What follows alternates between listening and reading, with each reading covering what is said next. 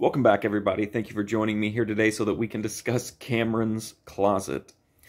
So the story here is that there's a demon in a kid's closet that's causing all kinds of chaos, and that's pretty much the plot. It's just this demon going on a rampage, and this, you know, weird kid is surrounded by all these weird, quirky adults, and everything just kind of, you know, spirals out of control. So this movie is, first of all, what a film, what an experience uh, Cameron's Closet is.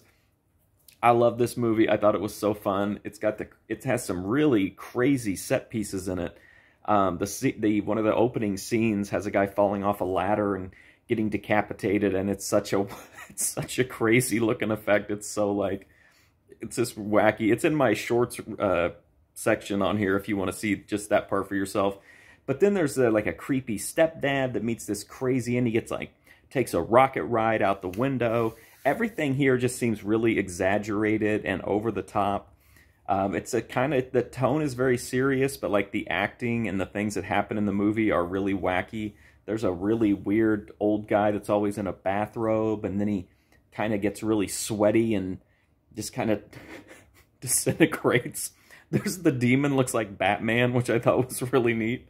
Uh, it's just a lot of really wild scenes. There's an absolutely nuts transformation scene. I don't even know what was going on in it, but it was really gross looking, and uh, it's just got a lot of neat practical effects, really wacky, wild set pieces. The pacing is really good.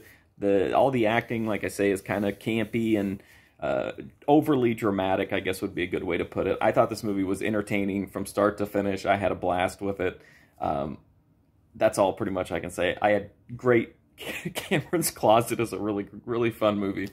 So uh, if you want to read more of my reviews or watch more of my reviews, you can go to my movie review playlist right here on YouTube. You can also go to my website, marcfusion.com, and check out thousands and thousands of reviews there. But thank you for watching this review of Cameron's Closet, and if you're thinking about watching it, you definitely should. It's a really fun flick. Thanks for watching this review, though. I do appreciate it. Hopefully I'll see you soon.